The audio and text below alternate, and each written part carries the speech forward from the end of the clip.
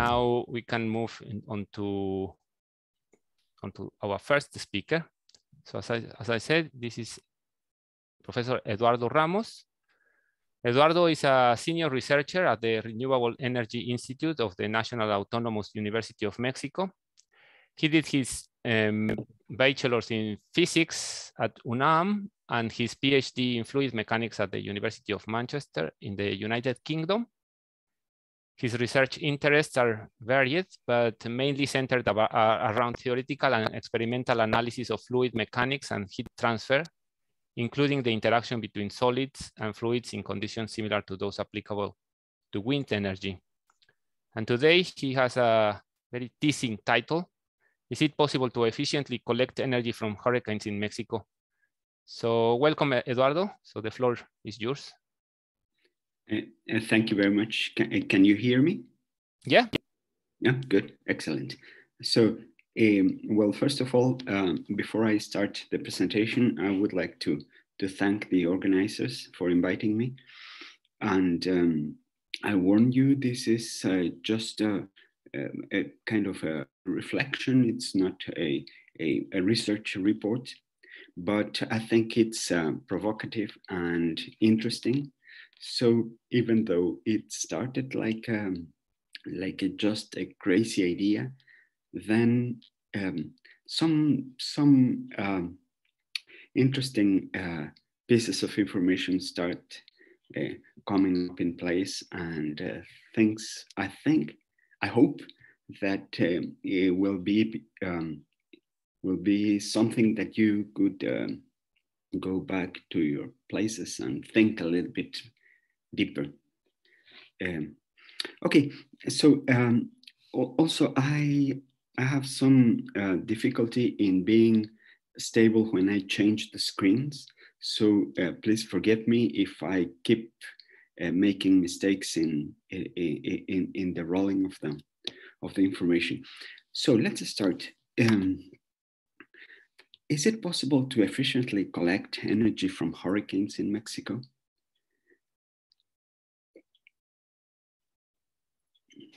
There we go. Okay. In order to, to try to answer this question, I would um, uh, give you uh, some motivation on, on why this, uh, this idea is um, at, at, least worth, just for fun, but worth uh, taking into account. Then I will talk about the energy source, which of course will be the hurricanes, and then the, the device, which is um, which is the, the kind of uh, wind turbines that we would need to, um, to catch the energy from the, from the um, hurricanes. Okay, well, the motivation is that uh, for, for anyone living in, in Mexico, the hurricanes are very important. We hear in the news that uh, hurricanes uh, come very, very often to, to um, to Mexico, and we uh, know that they come from the Atlantic, they come from the Pacific, and um, all we hear is that uh, hurricanes are very destructive, and we wonder whether the, the energy that is contained in a hurricane can be uh, some, somehow uh, usefully uh, captured. Now, um, just to, to give you a formal definition, a hurricane is a tropical cyclone with a with wind speed in, in, in excess of 33 kilometers per hour. And there are some categories, uh, Saffir-Simpson categories are defined in this way. But, um, but uh, for the time being, um, I'm, I'm not very concerned on, on, the, on the actual definitions but rather on, on a little bit more in detail. Okay, so the question is, um, can the, the, the energy be captured and um, and um, well, the idea of, of uh, uh, getting the energy from, from hurricanes is not new. Some people in other parts of the world have had the, the same idea. And um, I have here the, the, an example of the Chalin, Challenergy uh, wind turbine um, in, in Japan. And uh, once you, you think that the, that the energy can be captured, then your imagination just flies because um, you could, uh, people tend to, to exaggerate. For instance, in, in here, I have that um, in, in the news, they say new turbines can let a single typhoon power, uh, power Japan for 50 years. And this is obviously ridiculous because uh, th this is assuming that we can take the energy from the, from the whole structure and convert it into, into useful energy. And obviously that's, uh, that, that's out of question. So um, let's try to uh, keep our feet on, on ground and, um, and try to, to, to think a little bit more clearly.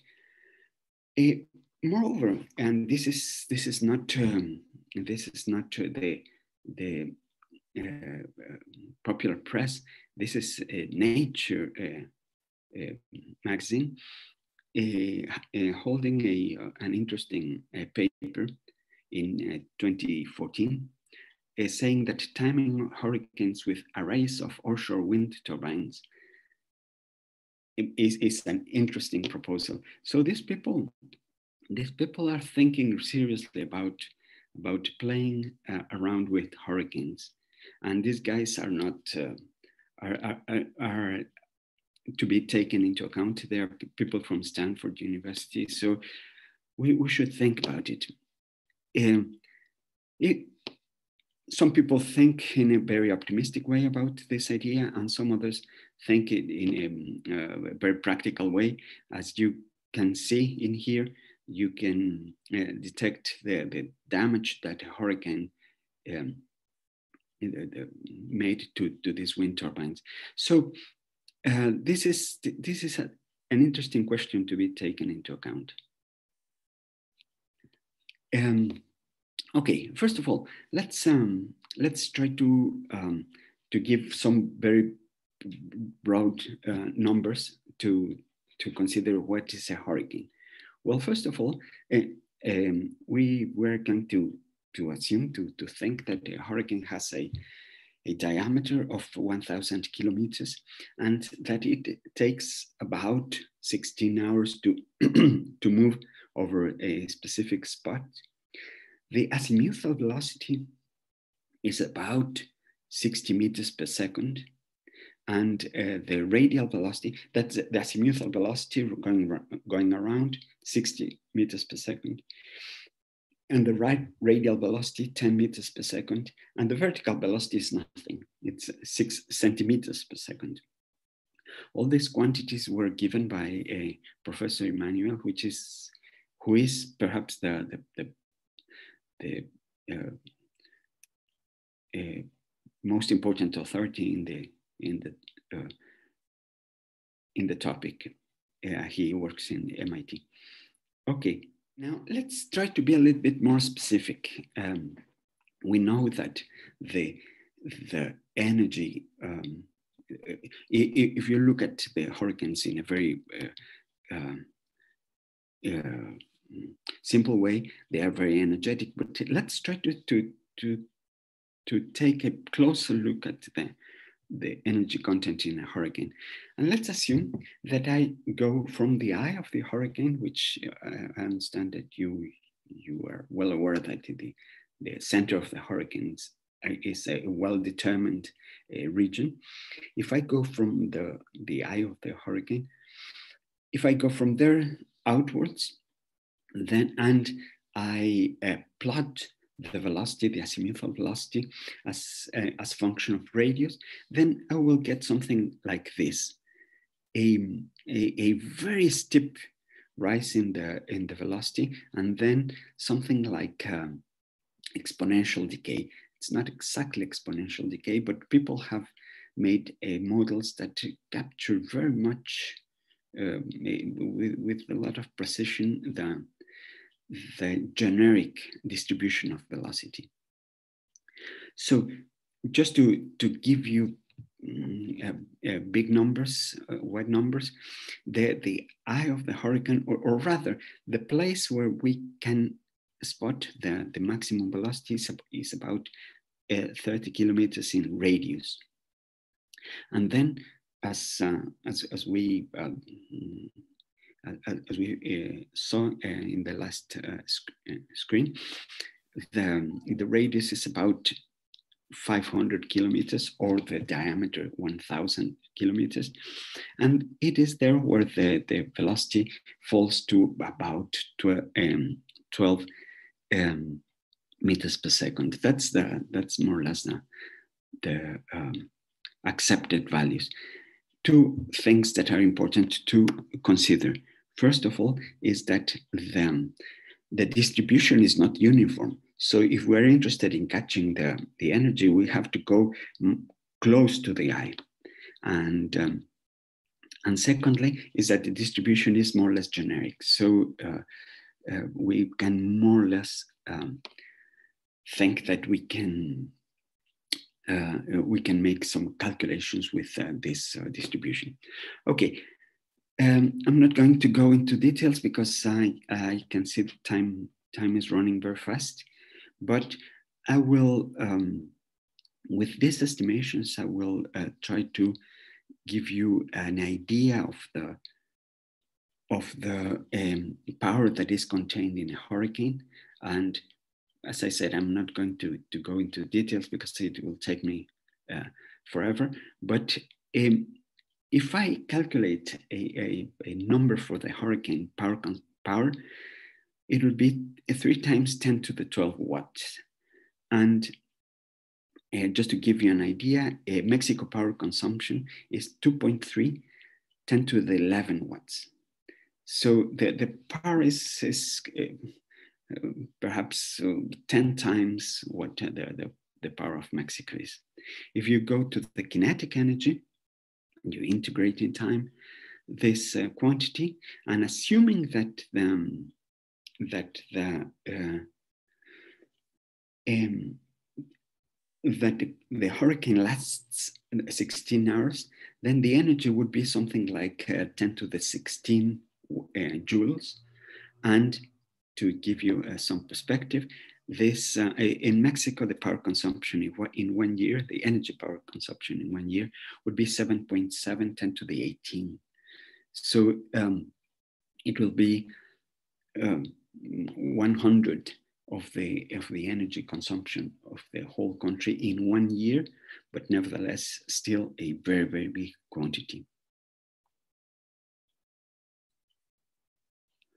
Okay, now let me also talk a little bit about the translation velocity of hurricanes. Um, the the hurricanes uh, move at more or less a, um, a, a, reasonably constant speed. And uh, this is uh, illustrated here uh, as uh, the, the, the, the, blue line. And if we, we take the average and also some simulations that are accurate in this respect, we find that the velocity of the hurricanes is about 18 kilometers per hour, which is um, uh, five meters per second. And if we consider that the diameter of, uh, sorry, the radius of the of the hurricane is um, is uh, uh, 500 kilometers, then the maximum duration of the influence would be uh, more or less uh, on, on, the order of uh, 26 hours. So this is this is also interesting. If we are in, if, if we want to catch the energy of the of a hurricane, then we have around around 28 hours to to um, catch the, the whole amount of energy. So we've got to be very, uh, we've got to, to move fast in case we want to do that. Okay. Now, there's another thing that um, that I, uh, from my own point of view is important. And in my opinion, it has been a little bit overlooked in the, in the literature. As we uh, are perfectly aware, a hurricane contains uh, a lot of water. As, as we know, a hurricane is uh, the, the, the energy input of a hurricane is the, the thermal disequilibrium between the ocean and the atmosphere. And it takes water and it uh, brings it up and then it falls as rain. Okay, but if we have a very strong wind and a, a water drops that are um, uh, uh, dispersed in, in it, then we, we also have energy in the water drops because the water drops are moving. And given that, at least in parts of the hurricane, the velocity is large, then the, the drag coefficient of the, of the drops will be uh, large. And perhaps we can assume that the wind carries the, the, the drops there has been some some research in this. You can you can check it in the in the um, reference I'm giving you here. And if we take a look at say two two uh, characteristic um, examples, one in uh, the, in Baja California, Cabo San Lucas, and we can we can see that the, the annual precipitation is uh, 222 uh, millimeters. Uh, remember, we, we count the amount of, of, the height of a pool of water in, in, a, in one square meter. And if we take the, the amount of uh, water that is, the, the amount of precipitation that is increased due to the presence of the, of the hurricane, it will be around a, a factor of two. And then we can calculate the, the mass that is the mass of water that is falling. And uh, in, in doing so, we can establish the amount of energy, kinetic energy of the water droplets that are contained in the, in the hurricane. Uh, doing the numbers, I'm not going into details again, but doing the numbers, uh, we can see that um, uh, the, the energy content, the kinetic, kinetic energy content of the, of the uh, uh, in the hurricane due to this uh, concentration of water, we would have to multiply um, the, the, the energy by a certain factor. In Cabo San Lucas, it would be a factor of 1.2, which is, which is relatively small in the sense that uh, the, the energy content would be about the, the, the sum of the air plus the, the water would be something like like um, two times the, the energy of, of air, of, of, the mass of air in, in motion. But in, in Cancun, which is closer to them, to the equator, the, the, the amount of energy, the amount of water that is uh, contained in the hurricane is much larger, and the factor is about seven. And I think that this is something to, to keep in mind when we uh, uh, make numbers. There's a large difference in, in the amount of kinetic energy that we are consider that, that, that we uh, should take into account. Okay, now this uh, these remarks are just what happens in the in the normal in the normal uh, hurricanes that we have now that we have observed in the past. Now, what's going to happen if we consider now the the uh, global warming? There, there has been some some um, studies trying to predict what's going to happen in future and we can see that this quantity, uh, the, the, the, quantity that I'm plotting here, is uh, something that has to do with the, the energy content. And if we plot the, well, not we, but uh, Professor Emanuel plotted the amount, amount of energy that is content in the, in the hurricane, the trend is that it is going to go up. And that's, that is very interesting because it seems that in future, even though the number of hurricanes is not going to, to be much larger than, than the numbers that we have been observing for the last, say, you know, 50 years or so, nevertheless, the, the, the strength is going to, to increase. And in terms of, uh, of energy content, that's also interesting because um, we will have a larger energy, energy source. Now, what, what about the, the velocity in which the, the, the, the hurricanes are moving?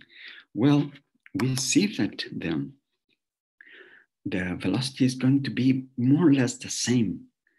So um, if they keep moving at the same speed, we will have more or less the same time to, cap- to catch the, the energy. This is just a glimpse of what might happen in, in future. Now, how many hurricanes are there in Mexico? There's a, a very interesting study in, in uh, the journal Atmosfera, which is, specializes in, in in, in uh, the meteorology in, in Mexico. And a, a very long historical uh, record indicates that there are about 2.1 and a very large dispersion, plus or minus 1.6 hurricanes per year. And the, this is this is a little bit misleading. This information that I'm giving you, the the one that is in the in the paper, is perfectly accurate, but this is um, th this takes into account not not just the hurricanes, but also the the tropical cyclones that might be in in the context of the of the present talk might be considered something like a, a, a, a small hurricanes, uh, weaker hurricanes. But well, anyway, this gives us a, a, perfectly reasonable idea. It will be in, in the Pacific coast of Mexico, 2.1 um, hurricanes per year. Now, if we go and, and try to be a little bit more specific, then um, in, uh, in Baja California, which is the, the place where we, we can detect the largest amount of uh, tropical cyclones, we have something like, just in, in Baja California, about one, one uh, tropical cyclone per year. And in Quintana Roo, something like um, one tropical cyclone every two years this is something also that is important to consider because uh, the the energy source is going to be a little bit scarce because it, eh, it, from our point of view, from the point of view of considering um, it as the as an energy source.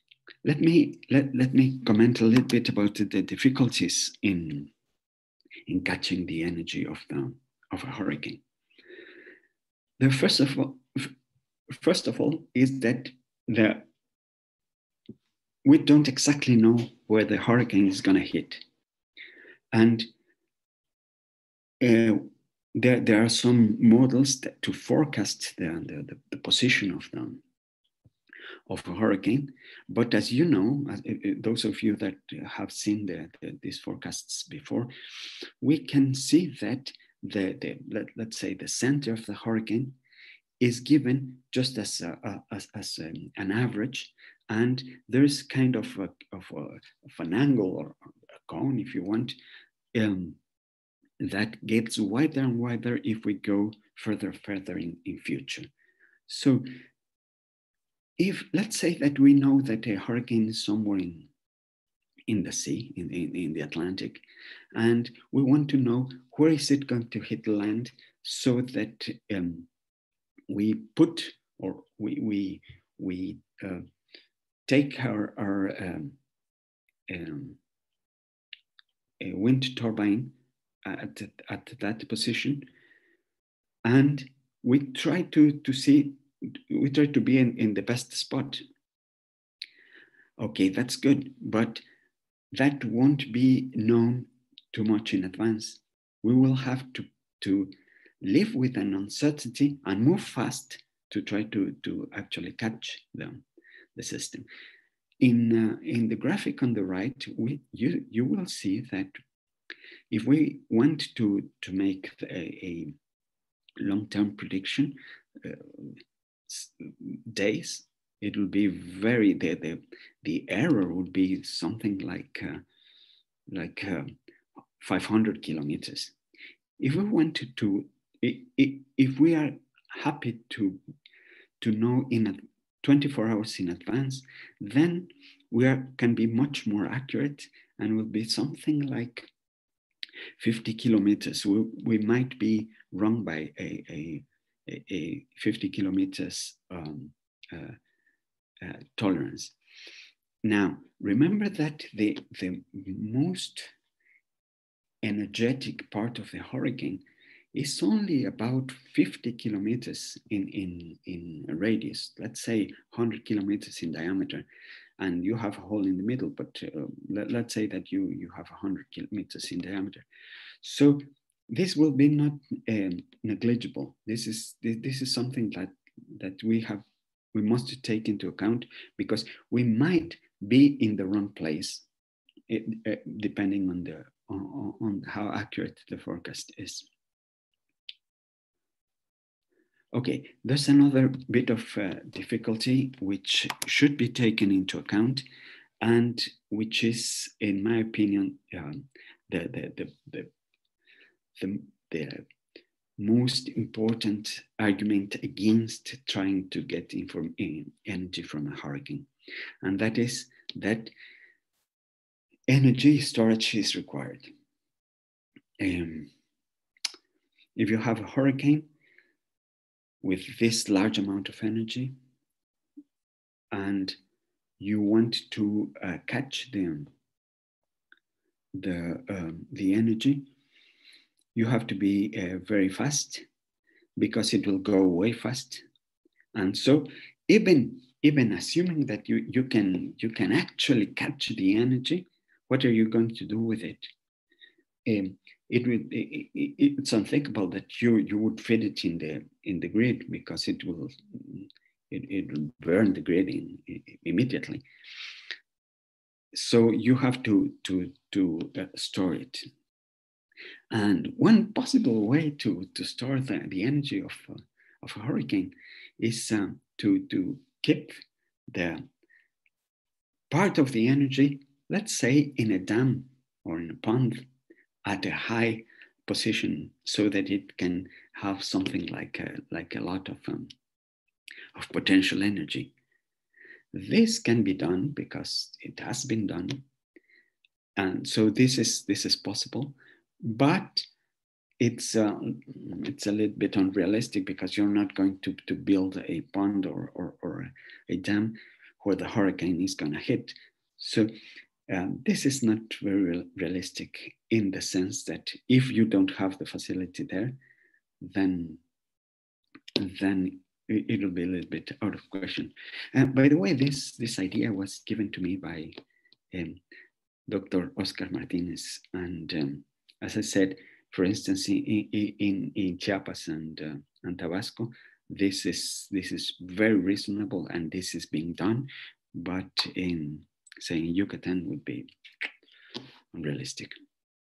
Okay, there's another possibility with li liquid metal batteries, but I don't have time to, to discuss that in detail. And this is also very unrealistic. Okay, let's talk about the device. What kind of, uh, of wind uh, turbine are we, are we, gonna need to, to do this, um, this job? Well, as, um, as I said, um, um, a Japanese company claims that uh, they have a, a um, system that can catch the energy. And uh, this is a kind of a vertical axis wind turbine, but instead of having blades, it has uh, um, uh, cylinders, and the cylinders are turning around in such a way that they create Magnus effect. We will talk about this in a, in a second. But the important thing is that um, this, um, these wind turbines can stand wind up to velocities of 70 meters per second, which is well within the range.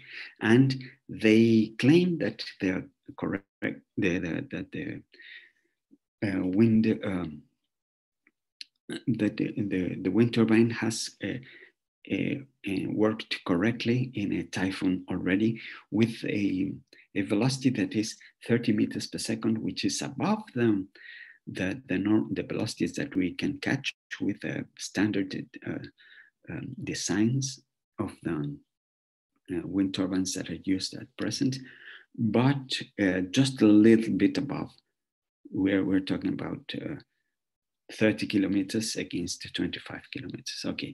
And also it's very expensive. I, if you have the money to pay for it, go ahead. Okay.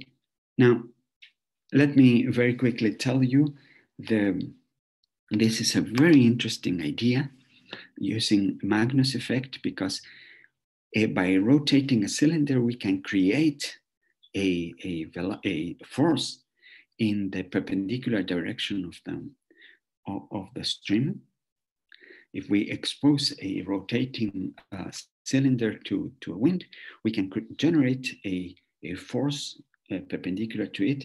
And if we, if we do it in the proper way, then uh, we can actually uh, make the, the system turn in, an, in a very, very uh, efficient way. Um, I'm very sorry that I don't have the time to, to, to, to talk about this in, in detail because I think this is a, a, a very interesting idea to explore, both for hurricanes and for, for some, something else. But um, for the time being, let's um, let me just say that um, in a, mag- a, a, system of this kind, if we if we are careful and we make the cylinders turn around in um, in a um, correct way, then we can make the system go with a, force that is uh, very, very reasonable, which is four times the, the force on each cylinder, which is very interesting. But um, this, uh, in my opinion, needs a lot of research. It's um, for, for the time being, we're just there's very little information on how to, to design this, or else you can go to the company. Uh, they, they, they won't give it the information to you. I've been looking for the information and very unsuccessfully. Now, there's a, an, another thing that I want to comment very quickly, and that this kind of device would catch um, would catch a kinetic energy of air, but will not catch the kinetic energy of drops. And as I commented before, there's a lot of, of energy that could be um, cut if we used, uh, if we managed to capture the, the, the whole, the whole thing. Okay, I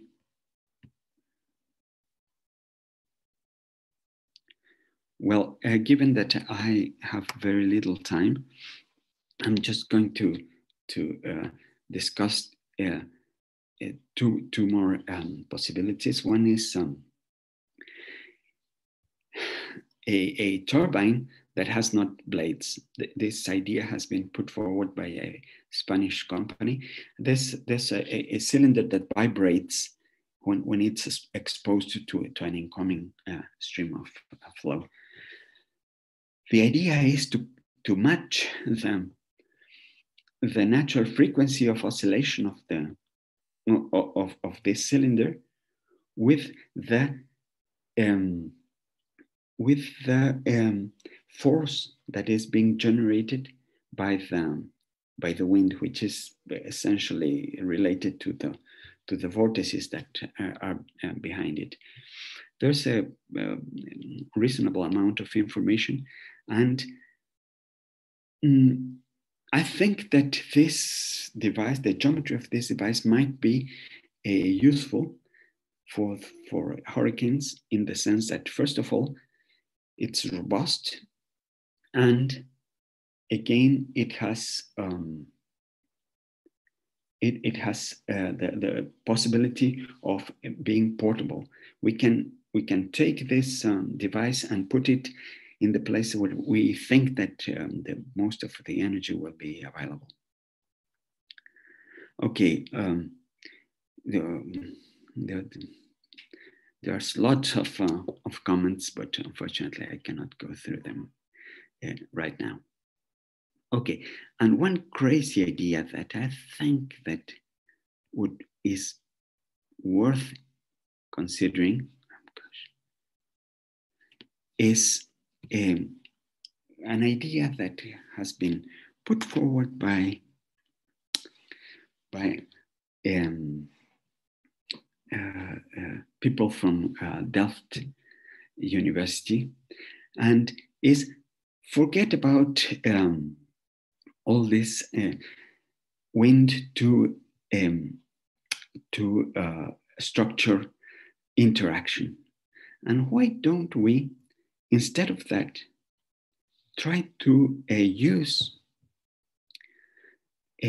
small droplets of water droplets and charge them electrically and use the wind to move them against a, um, a, a, a uh, power, uh, um, a, a, a, voltage, a, a voltage difference. If you do that, you might create a uh, power, electric power, if you play around with, uh, with the um, electric um, uh, circuits um, in, a, in a clever way. That's something that uh, it, it, I think that uh, it, at this point it's just a fantasy because um, this uh, so far the the devices that have been working with this principle have just been able to, to, to, to generate milliamps. But nevertheless, given the fact that we have in a very natural way water droplets, and the water droplets are moving with a very fast speed. And uh, so the, it seems to me that this, um, this idea might work. Again, very many very many uh, uh, hours of research need to be done to, to see whether this is um, feasible. By the way, uh, a, a, something like uh, like this was built, but unfortunately it has been scrapped now in, in, in Delft in the Netherlands. Okay, I'll use the, the last minute I have to uh, give you I'm not going to discuss, but I made a, a summary of them, of the possible ways of catching the, the um, energy in, um, in a hurricane.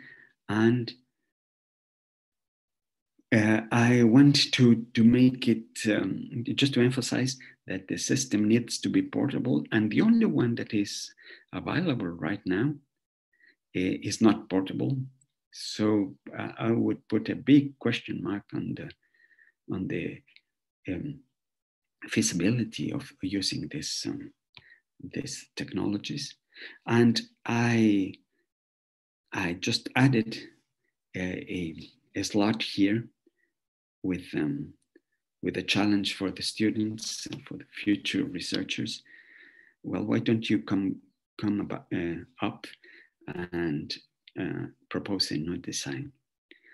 So my uh, last um, my last slide is I would like to, to try to answer them. The question, is it possible to efficiently collect energy from hurricanes in Mexico? The answer is not now, perhaps in future. But uh, unfortunately, we need to do a lot of work and especially in the energy storage.